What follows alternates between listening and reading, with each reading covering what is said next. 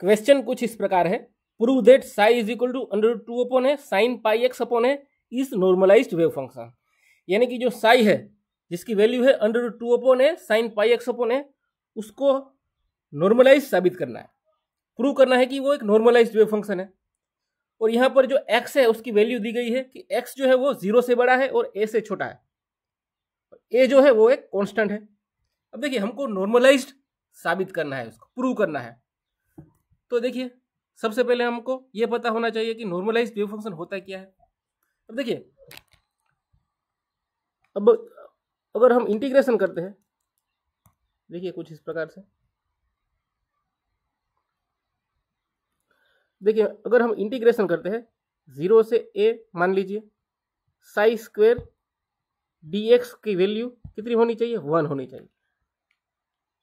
यानी कि wave function Sai का अगर स्क्वायर करते हैं और इसको इंटीग्रेट करते हैं, ज़ीरो से ए तक तो हमें आंसर कितना मिलना चाहिए, वन मिलना चाहिए। तभी हम उसको क्या कहते हैं? नॉर्मलाइज्ड वेव फ़ंक्शन कहते हैं।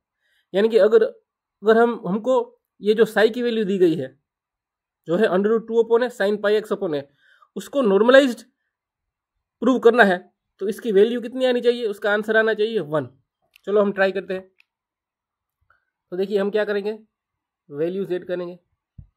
इंटीग्रेशन ज़ीरो से ए। अब देखिए, यहाँ पर मैंने इंटीग्रेशन ज़ीरो से ए क्यों लिया है? क्योंकि देखिए, यहाँ पर एक्स की लिमिट दी गई है। जो एक्स है वो ज़ीरो से बड़ा है और ए से छोटा है। यानी कि जो लोवेस्ट वैल्यू है एक्स की, वो हो सकती है ज़ीरो और जो हाईएस्ट हो सकती है, वो वो हो सकती है ए इसलिए हमने ज़ीरो से ए लिमिट ऐड की है। अब देखिए साई स्क्वेयर करना है। साई की वैल्यू क्या दी गई है? मैं यहाँ पर लिखता हूँ, देखिए under root two upon a sine pi x upon a, ये दी गई है। लेकिन यहाँ पर हमें क्या करना है? साई का स्क्वायर करना है। इसलिए हम करते हैं स्क्वायर डी एक्स इसका आंसर हमें क्या लेना है? ज़ीरो लेना है। तो देखते हैं आगे। अब देखिए। इंटीग्रेशन ज़ीरो से ए अब देखिए, यहाँ पर under root two upon a का स्क्वायर करना है। तो उसका स्क्वायर क्या होता है? रूट टू का स्क्वायर करोगे तो टू आएगा। रूट ए का स्क्वायर करोगे तो ए आएगा। तो ये हो जाएगा साइन का square sine square pi x upon a d x अब देखिए, यहाँ पर लोग अक्सर गलती करते हैं कि पाई एक्स का भी पाई एक्स अपॉन ए का भी स्क्वायर कर लेते हैं। जल्दबाजी में ऐसी गलती बिल्कुल मत करना। साइन स्क्वायर थीटा है ये। ऐसा समझ लीजिए। तब साइन स्क्वायर थीटा करते समय आप थीटा का भी स्क्वेयर करते हैं क्या? नहीं करते तो इस प्रकार यहाँ पे सिर्फ़ साइन का ही स्क्वायर होगा। साइन स्क्वायर का मतलब ये साइन का ही फ़ंक्शन है। Five pi upon pi x upon a है वो साइन का ही साइन फ़ंक्शन का ही है। थीटा ही है, ऐसा मान लीजिए। अब देखिए, यहाँ पर हम इसको इस प्रकार लिखते हैं। टू अपॉन ए ज़ीरो से ए अब देखिए साइन स्क्वेयर थीटा है। ये क्या है? साइन स्क्वेयर थीटा है। तो इसका क्या आंसर होता है वो हम देखते हैं। देखो, मैं यहाँ पर लिखता हूँ। देखिए, अगर आपको किसी चीज़ का साइन का स्क्वेयर थीटा करना है साइन स्क्वेयर थीटा करना है तो इसका आंसर क्या आएगा? One minus cos two theta divided by two आएगा। क्या आएगा? One minus cos two theta divided by two ये आपको याद रखना है। Sine square theta is equal to क्या होता है? One minus cos two theta by two तो मैं यहाँ पर इसकी वैल्यूज़ एड करता हूँ, देखें। तो साइन स्क्वायर की जगह मैं क्या लिखूँगा?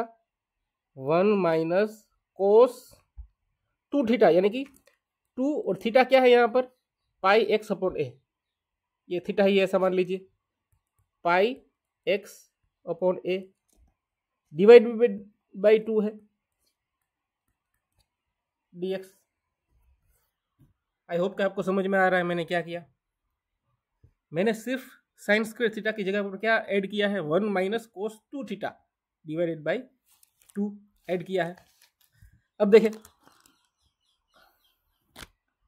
इसको थोड़ा छोटा कर देता हूँ। अब देखें। यहाँ पर है टू अपॉन ए यहाँ पर नीचे देखिए, दो है। इसमें क्या है नीचे?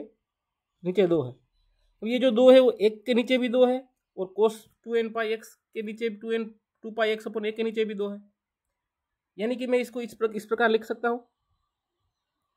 ज़ीरो से a one by two minus cos two pi x upon a divided by two d x ऐसे भी मैं लिख सकता हूँ। अब देखिए, यहाँ पर देखिए, दोनों साइड वन बाई टू है। यहाँ पर भी वन बाई टू है, यहाँ पर नीचे दो है, ऊपर तो वन ही होगा। वन ही ऐसा मान सकते हैं हम। तो हम क्या करते हैं? उसको कॉमन निकाल लेते हैं।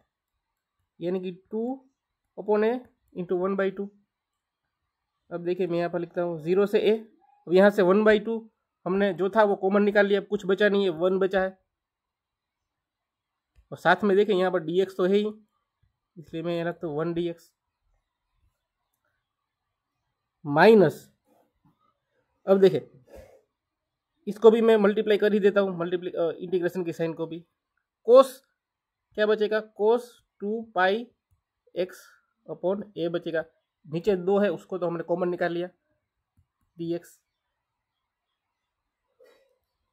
देखिए ये मल्टीप्ली ये जो इंटीग्रेशन की साइन है, वो वन बाई टू के पर भी लागू होती है और cos two n pi two pi x upon a के ऊपर भी लागू होती है। इसलिए मैंने यहाँ पर दोबारा लिखिए। अब देखिए। यहाँ से दो दो कैंसिल हो जाएगा। क्या बचेगा? वन अपॉन ए बचेगा। यहाँ पर हम इंटीग्रेशन अब जब हम करें, वन डी एक्स का डी एक्स का तो डी एक्स का इंटीग्रेशन होता है एक्स और यहाँ पे लिमिट हमें ऐड करनी है तो ज़ीरो से ए लिमिट ऐड करेंगे। अब देखिए, ये कैसे आई इंटीग्रेशन अगर आपको समझ में नहीं आ रहा है तो उसके लिए मैंने एक पूरा वीडियो बनाया है, जिसमें मैंने मैथ्स के सारे ऑपरेशन फिजिक्स के सारी सारी चीज़ें समझाई है। वो आप ज़रूर देखिएगा। माइनस, देखिए, अब यहाँ पर दूसरा एक नया इक्वेशन आ रहा है।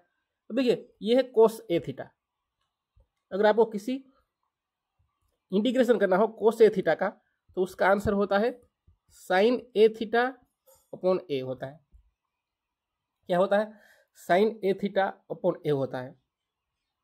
ये कोस और two two pi x upon a है वो क्या है? ए थीटा ही ऐसा मान लीजिए। तो कोस ए थीटा का इंटीग्रेशन क्या हो, क्या होगा? Sine a theta upon a होगा। तो चलो मैं करता हूँ यहाँ पर। तो अब मैं इसकी जगह पर क्या ऐड करूँगा? देखिए मैं ऐड करता हूँ यहाँ पर।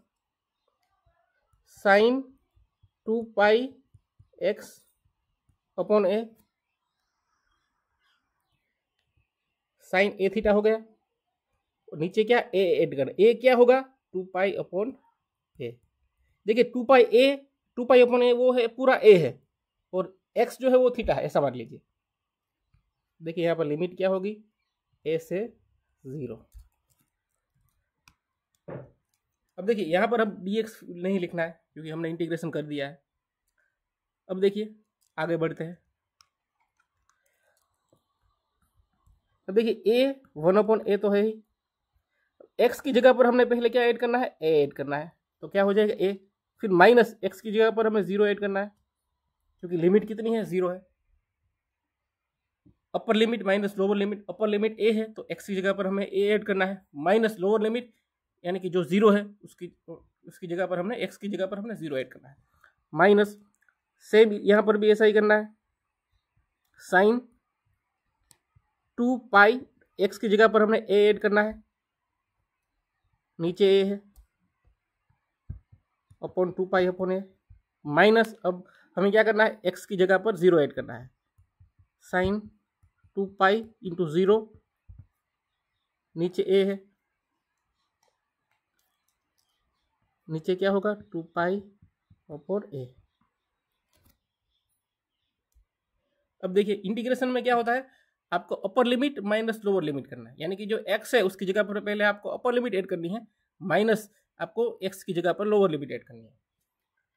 अब देखिए one upon a a minus zero क्या होता है? ए ही होता है माइनस अब देखिए, यहाँ पर दूसरी इंपॉर्टेंट चीज़ है।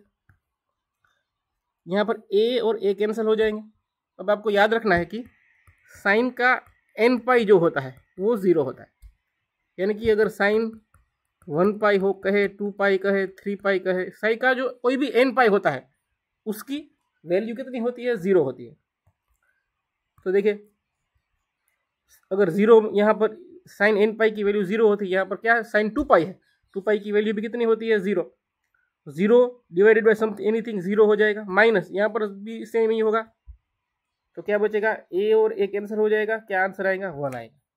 यानी कि हम कह सकते हैं कि ये जो इक्वेशन हमें जो दिया गया है सॉरी इक्वेशन तो नहीं कह सकते। हम ऐसा कह सकते हैं कि जो वेव फ़ंक्शन साई दिया गया है, वो क्या है? वो एक नॉर्मलाइज्ड वेव फ़ंक्शन है, हम ऐसा कह सकते हैं। क्यों? क्योंकि इसकी वैल्यू हमें कितनी आई है? वन आई है।